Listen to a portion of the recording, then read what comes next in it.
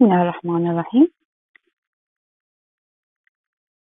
كل عام وأنتم بخير أعزائي الطلبة سنة سعيدة إن شاء الله عليكم.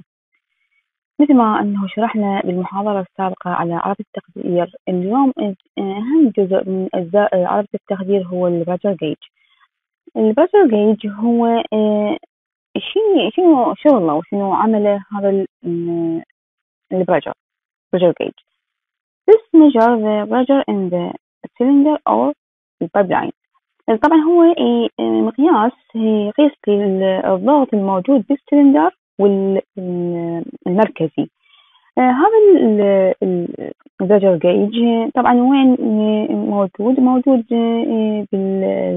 بال medical gases اللي هي إحنا بالعربي التخدير اللي هي موجودة الأكسجين و nitrous oxide وال medical air طبعا آه، هو موجود بمقدمة آه، عرض التخدير آه، إذا أنتم ملاحظين وتحتوي بعض العربات الحديثة على digital. هذا نلاحظها بالعربات ال modern. طبعا هذا يقيس لك هو ال digital هو يقيس لك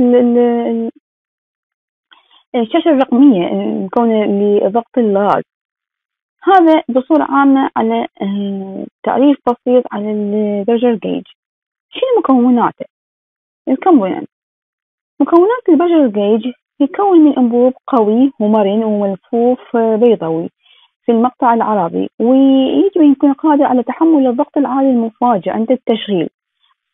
ثانيا آه، الأنبوب المحكم يكون محكم الإغلاق نهايته الداخلية ومتصل بإبرة تتحرك فوق قرص المؤشر.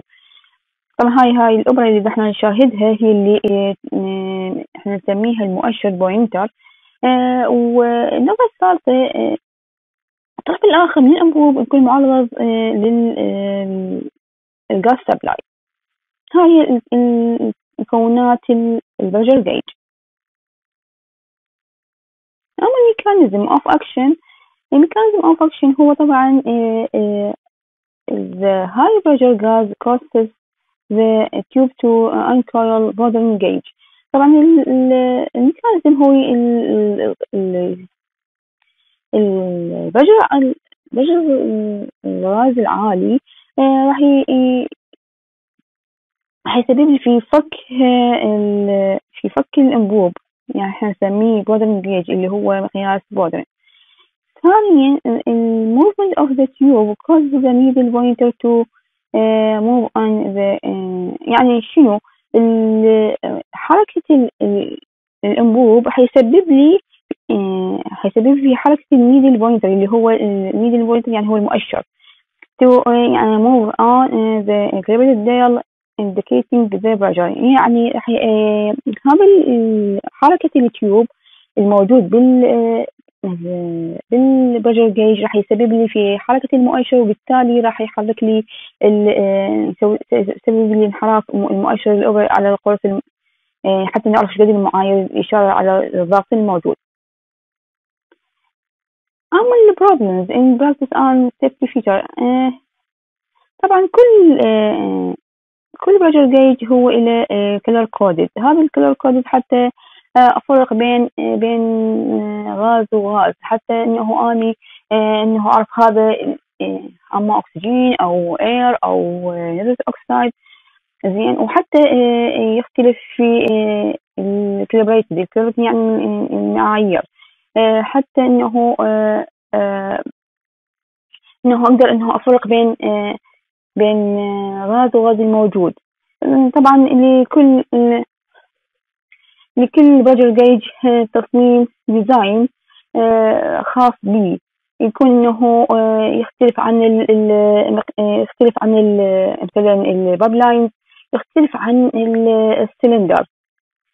وبالعكس والعكس صحيح. هذا إنه يقول لي إنه حتى ما يسبب لي this lead to حتى إنه يكون دقة في في القراءة ويكون إنه حتى ما يسبب لي damage to the visual gauge.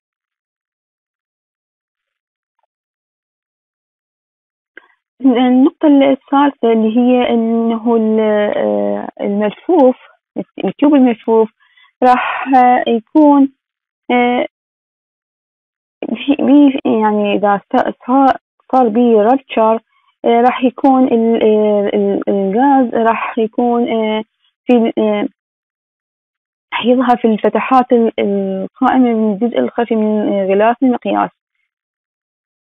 فلازم إحنا إنه آه، آه، نعالج هذه هاي المشكلة. إذا سبب إنه rupture لل آه، لل coil tube ال tube الملفوف. هذا طبعا أهم شرح لل pressure gauge إذا لاحظت إنه هذا المخطط يعني هو يبين لك شلون يمر الغاز أما من السلندر أو من المركزي. آه، وبعدين شلون إذا آه، يمر إذا كنه O2 supply failure alarm هاي ليش؟ إذا إنه O2 supply failure alarm يعني إذا إنه آه، الأكسجين ماكو راح يسبب لي بالجهاز راح يسبب لي alarm زين إذا التقى ال gas supply at standard operating pressure راح يلتقي لي هنا ويا ال O2 أو ال nitrous oxide وين؟ بال needle valve and flowmeter راح هنا يلتقون آه وبعدين آه آه راح راح يكون مسوى إلى آه ال common gas outlet اللي آه يقدر إنه احطكم ك homework اللي يقدر إنه يشرح لي هذا المخطط. آه بالتفصيل حيكون إلى آه درجة آه كنشاط شاومي وشكرا جزيلا.